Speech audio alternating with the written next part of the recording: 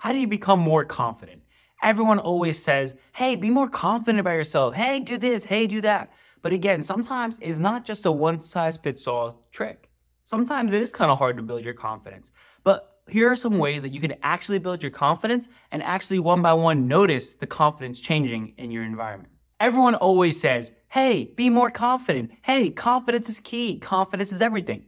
But they don't really talk about how to actually become more confident and the steps needed to become a more confident individual. Obviously, we all know the more confident you are, the better you are going to be at so many different tactics of life. Your personal life, you'll be more confident talking to people, interacting with others, being yourself no matter what environment you're within. It'll be better in your job and career because if you're confident about your abilities, you'll do better in your job. You'll do better in your career. You'll be able to be more successful because you are confident about your abilities. Confidence is having a belief, or really believing in what's going to happen, the outcome, what you're going to do. That is what confidence is. So then in turn, to have confidence means to be knowledgeable, means to have experience, means to have a skill set that allows you to be confident. Sometimes there is such thing as blind confidence, where people just are just confident individuals. But if you have skill sets, that can help being more confident. One way to be more confident is understanding the first thing is having skill sets.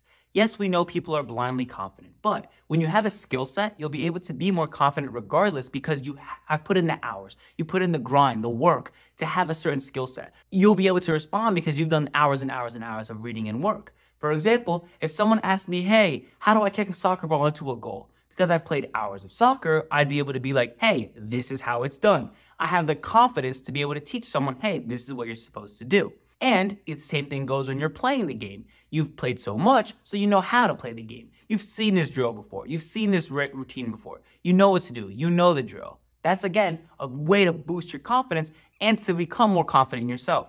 But again, it's all not just dandy of having skill sets. You can have all the skill sets you want, but sometimes people are so wildly talented, but don't have the confidence to show off their talents. They don't have the confidence to be able to be who they really are.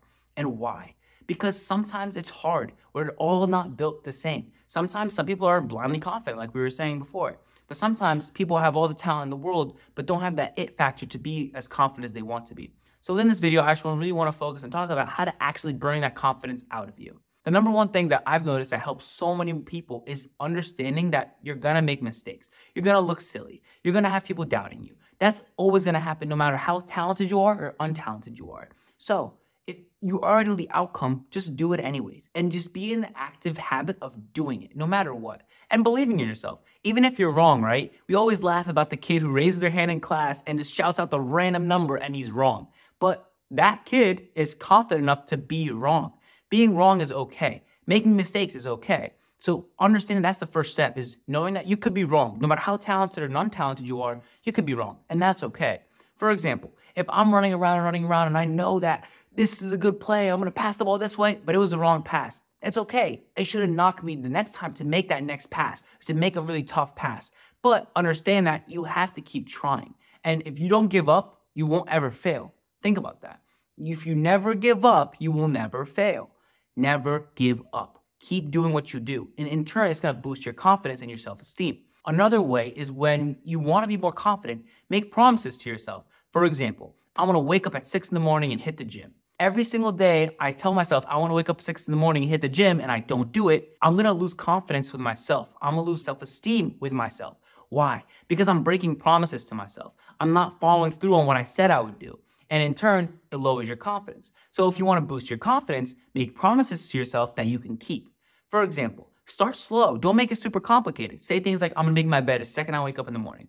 Hey, I'm to do this. I'm to drink eight glasses of water. Whatever it is, make it based upon what you want in your life.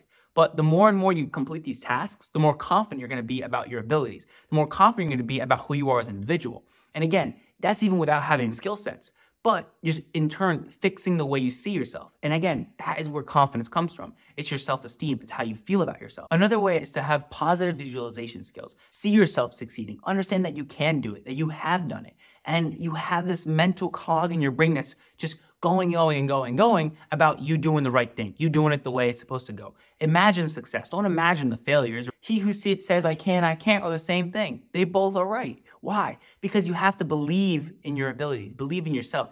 Even if nobody believes in you, you have to go 100%. And that is, again, how you're going to boost that confidence up.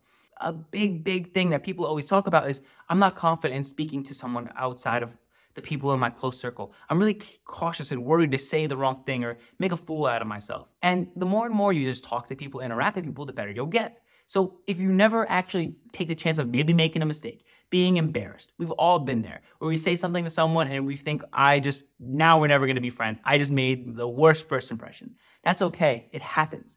Understand that that's just gonna be a learning lesson, learning lesson, learning lesson, until you get to the point where no matter who you meet, you're being yourself, you're flowing. And then you're going to attract the right people to you because, again, you're being yourself wholeheartedly. This is a good way to build your confidence and build your self esteem. They go hand in hand. And the more confidence you have, the more ability you have within yourself and security of yourself that you have, the more confident you're going to seem to other people.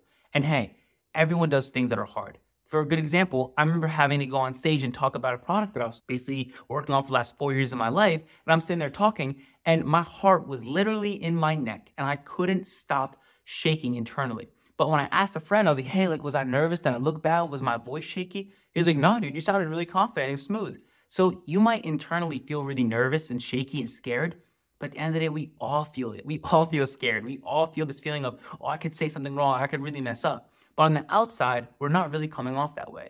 So again, really believe in yourself and understand that to have confidence, you have to be okay with making mistakes, but building that skill set. And then when you build that skill set, or if you don't have that skill set, it won't matter if you don't actually apply that skill set that you have.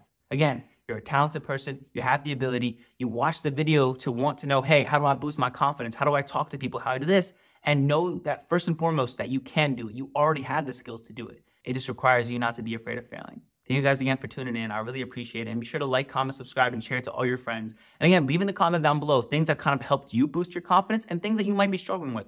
I love talking to you guys. I love actually interacting and having dialogue with people because again, this is a life skill that sometimes is really hard for us to learn and learn how to basically manage and do. So again, please feel free to comment about it. I'm sure to respond to as many comments as I can. Thank you guys again for tuning in. I'll see you guys next week. See you later.